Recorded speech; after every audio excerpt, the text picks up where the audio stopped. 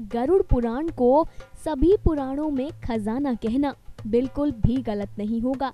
इस पुराण से कुछ ऐसे दिलचस्प सवालों के जवाब मिलते हैं, जिनके जवाब मनुष्य और कहीं से नहीं तलाश सकता। आज हम ऐसे ही एक सवाल का जवाब आपको गरुड़ पुराण से देने वाले हैं। हम आपको बताने वाले हैं कि ऐसे कौन से कार्य हैं जिन्हें करने से मनुष्य की आयु कम हो जाती है या फिर यूँ कहें कि आयु नाश हो जाती है। गरुड़ पुराण में बताया गया है कि जो व्यक्ति हमेशा अपने नाखूनों को चबाता रहता है, उसकी आयु कम हो जाती है। जो गंदा रहता है, प्रतिदिन स्नान नहीं करता, अपने बालों को नहीं सवारता और जो मंजन नहीं करता, ऐसे मनुष्य की आयु भी छोटी होती रहती है। गरुड़ पुराण में लिखा हुआ है कि गुरु की आज्ञा ना मानने वाला और देवता की पूजा ना करने वाला भी जल्द ही मृत्यु को प्राप्त कर लेता है।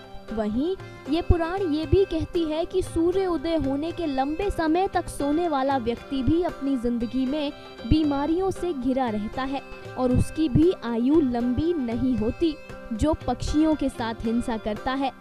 वो भी शीघ्र ही अपने शरीर को छोड़ देता है। गरुड़ पुराण में लिखा है कि शौच के समय अपने मल मूत्र की ओर देखने वाला अपने पैरों पर पैर रखने वाला व साथ ही साथ चतुर्दशी, अष्टमी, अमावस्या व पूर्णिमा के दिन संसर्ग करने वाले व्यक्ति की भी आयु कम हो जाती है।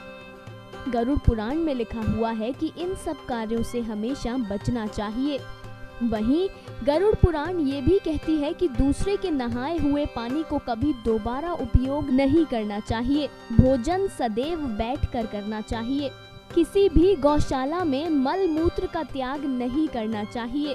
भीगे हुए पैर लेकर सोना नहीं चाहिए। इस पुराण में लिखा है कि इन सभी बातों को ध्यान रखने वाले मनुष्य की आयु लंबी होती है और उसके जीवन में सफलता का मार्ग खुलता है। पुराण में ये भी लिखा है कि जो मनुष्य सूर्य, अग्नि, गाय तथा ब्राह्मणों की ओर मुँह करके बीच रास्ते मूत्र का त्याग करता है उन सब की आयु भी कम हो जाती है। मैले, टूटे और गंदे दर्पण में मुँह देखने वाले की भी आयु कम हो जाती है। गर्भवती स्त्री के साथ संबंध बनाने वाला व्यक्ति भी लंबी आयु नहीं पाता है। गंदी खाट या गंदे बिस्तर पर सोने वाला व्यक्ति भी इस पुराण के अनुसार जल्द ही प्राण त्याग देता है। इस पुराण में लिखा है, किसी कोने अंधेरे में पड़े पलंग या फिर चारपाई पर सोने वाले मनुष्य की आयु भी अवश्य ही कम हो जाती है।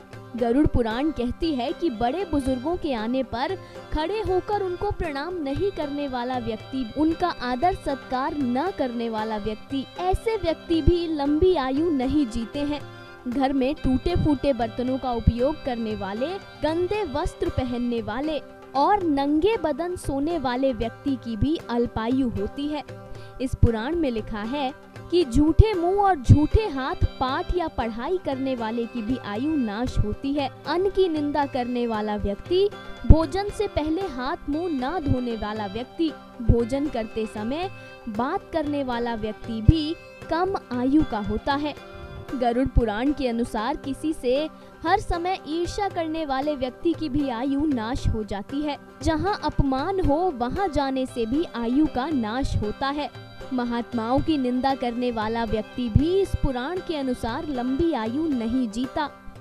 वहीं वासना में अंधा होकर कन्या कुमारी या किसी स्त्री से ज़बरदस्ती संबंध बनाने वाला व्यक्ति इस पुराण के अनुसार जल्द ही मृत्यु को प्राप्त तो करता ही है, लेकिन उसकी मृत्यु बेहद दुखद भी होती है। उसे भी अल्पायु ही प्राप्त होती है। इसलिए अगर आप लंबी आयु चाहते हैं तो इन सब कार्यों को करने से बचें। हमेशा धर्म के राह पर चलें। याद रखें कि कर्म ही भगवान है और कर्म ही पूजा। अगर आपके कर्म अच्छे हैं तो खुद प्रभु भी आपसे प्रसन्न होंगे। और अगर आप बुरे कर्म करते हैं तो किसी ने खूब कहा है कि बुरे कर्मों का बुरा नतीजा। जाते जाते हर बार की तरह इस बार भी कहेंगे, कथा सागर की पूरी टीम सदैव आपके सुखद जीवन की कामना करती है। Katha Sagar, desk report. हर अपडेट के लिए सब्सक्राइब करें।